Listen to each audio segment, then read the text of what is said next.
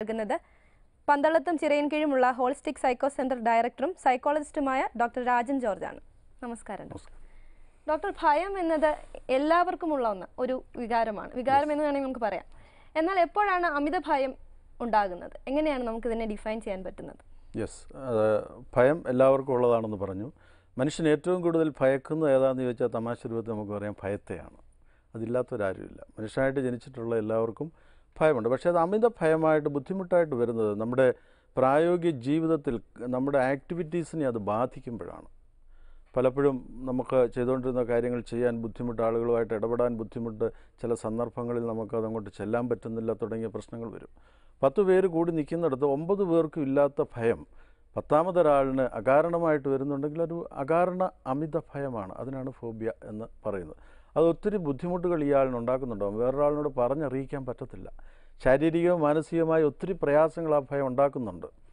ശാരീരിക തലത്തിൽ പ്രശ്നങ്ങളുണ്ട്. അതൊക്കെ ശാരീരിക രോഗങ്ങളായിട്ട് തെറ്റിദ്ധരിക്കും. പക്ഷേ മാനസിക തലത്തിലും പ്രയാസങ്ങളുണ്ട്. വലിയ വലിയ മനോരോഗങ്ങളാണോ തെറ്റിദ്ധരിക്കുക? അതൊന്നും ആയിരിക്കുകയില്ല. ഫോബിയ ആയിരിക്കും റീസൺ. ഫോബിയയെ നമ്മൾ ഒരിക്കലും ഒരു രോഗമായിട്ട് കാണുന്നില്ല. ഒരു ഡിസോർഡറായിട്ടാണ് കാണുന്നത്. ഡോക്ടർ എന്തെല്ലാം കാരണങ്ങളാണ് ഇത്തരത്തിലുള്ള ഒരു അമിത ഭയത്തിലേക്ക് ഒരു വ്യക്തിയെ നയിക്കുന്നത്? തീർച്ചയായിട്ടും. കാരണങ്ങൾ എന്ന് പറയുമ്പോൾ നമുക്ക് പല രീതിയിൽ നമ്മുടെ ജീവിത സാഹചര്യങ്ങളിൽ നിന്ന് ഭയമുണ്ടാകാം.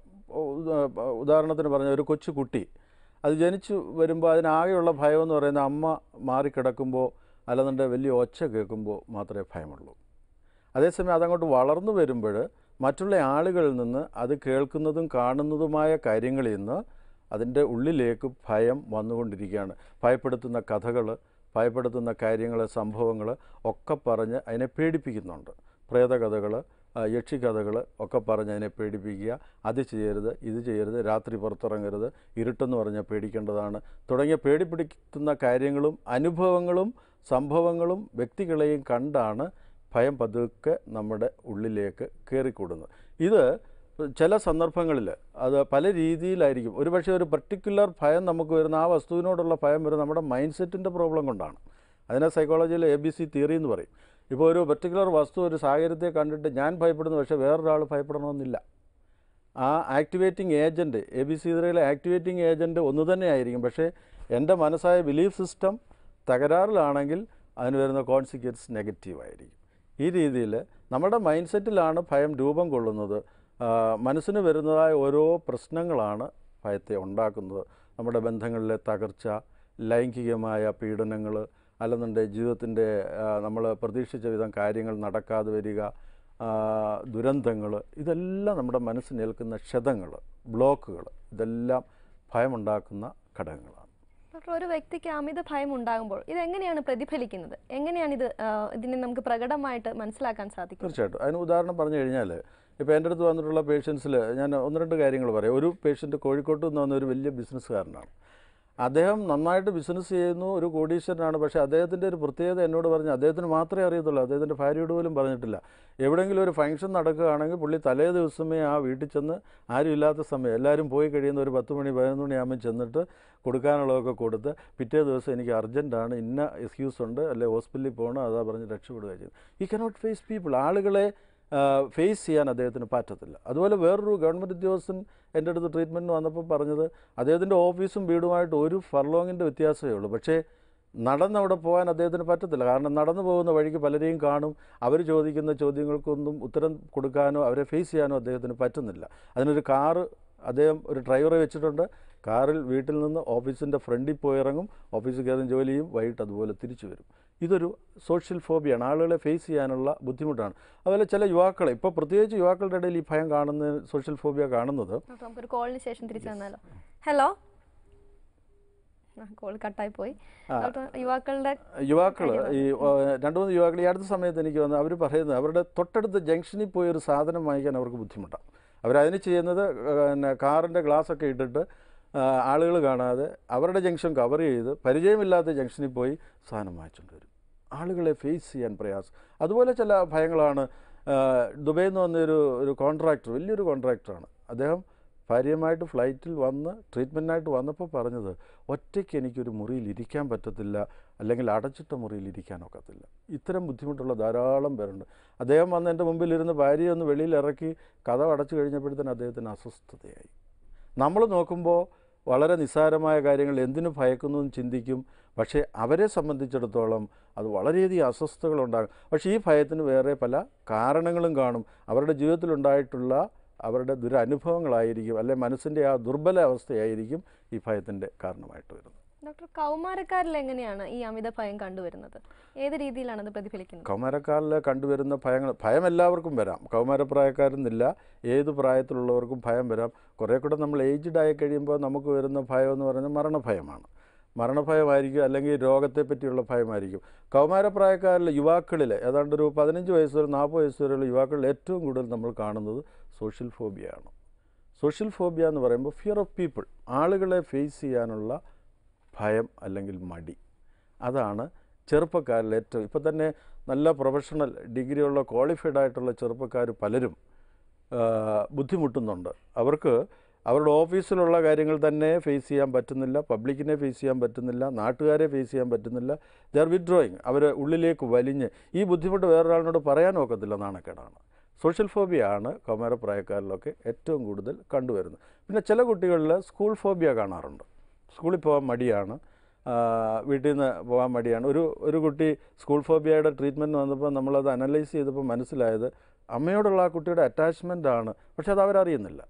അമ്മയെപ്പറ്റി ഓർത്തുള്ള അതിന്റെ ഇൻസെക്യൂരിറ്റി ഫീലിംഗ് വരുമ്പോഴാണ് സ്കൂളിന്റെ ബസ് വരുന്നത് വരെ ആ കുട്ടി റെഡിയാണ് സ്കൂൾ ബസ് കണ്ടു കഴിയുമ്പോൾ അതിന് ഛർദിലായി തലവേദനയായി മറ്റു പ്രശ്നങ്ങളായി പോവുകയല്ല.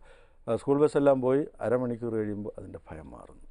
ഇത് കുട്ടി പോലും അറിയുന്നില്ല ഇതെന്തുകൊണ്ടാണ് ഈ ഭയം വരുന്നത് ഇതൊരു ഇൻഡയറക്റ്റ് റീസണായിട്ട് നമുക്ക് കണ്ടുപിടിക്കാൻ പറ്റത്തുള്ളൂ. ഒരു ഡയറക്റ്റായിട്ട് ഇതിന്റെ റീസൺ ഇതെന്ന് ആ ഭയം കണ്ടിട്ട് നമുക്ക് പറയാൻ പറ്റത്തില്ല. ഡോക്ടർ നമുക്കൊരു കോളർ ഉണ്ട്.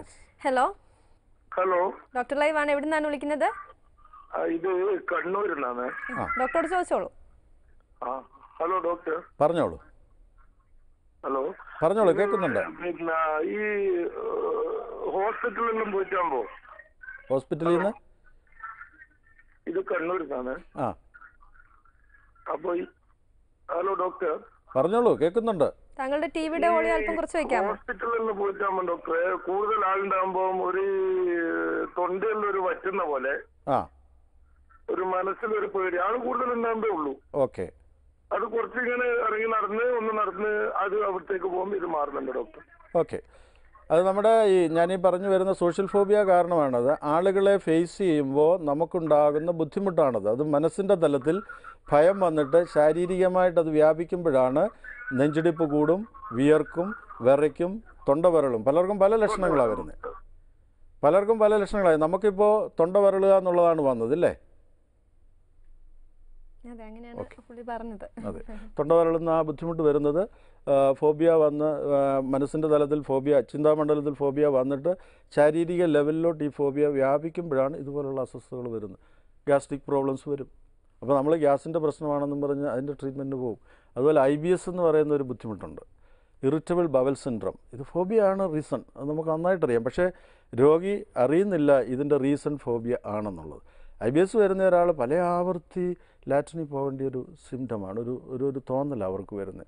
ഏഴും എട്ടും പ്രാവശ്യം പോയെങ്കിലേ അവർക്കൊരു വെളിയിലോട്ട് ഇറങ്ങാനുള്ള ധൈര്യം വരും.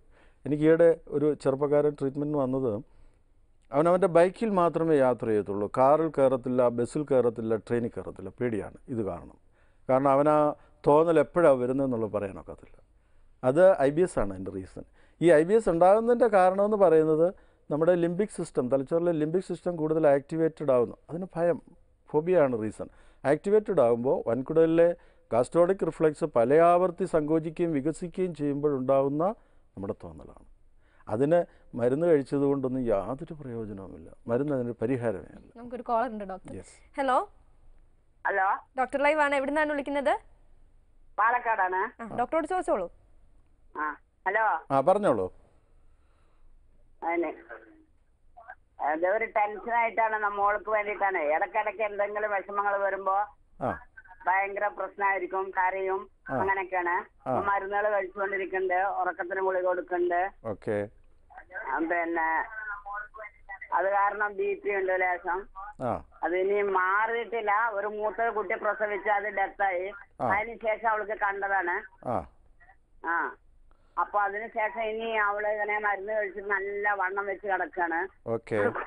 ഇല്ല. തൈറോയ്ഡ് ഉണ്ട്. ഓക്കെ. ഡോക്ടറോടൊന്ന് ഓക്കെ.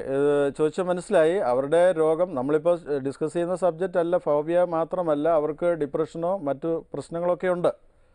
അതിനുള്ള മരുന്നും കഴിക്കുന്നുണ്ട്. അല്ലേ അതെ. മരുന്ന് കഴിച്ചുകൊണ്ടിരിക്കുകയാണ് പക്ഷെ ഇവിടെ ചെയ്യേണ്ടത് ഈ മരുന്ന് കഴിക്കുന്നതിനോടൊപ്പം തന്നെ മനസ്സിനാവശ്യമായിട്ടുള്ള ചികിത്സ കൂടെ കൊടുക്കണം. സൈക്കോ തെറാപ്പി എന്ന് പറയും. മനസ്സിനെ കൂടെ ഒന്ന് ശരിയാക്കി എടുക്കണം. മരുന്ന് മാത്രം കഴിച്ചതുകൊണ്ട് മനസ്സിന്റെ രോഗം പോകത്തില്ല. മനസ്സിലായോ?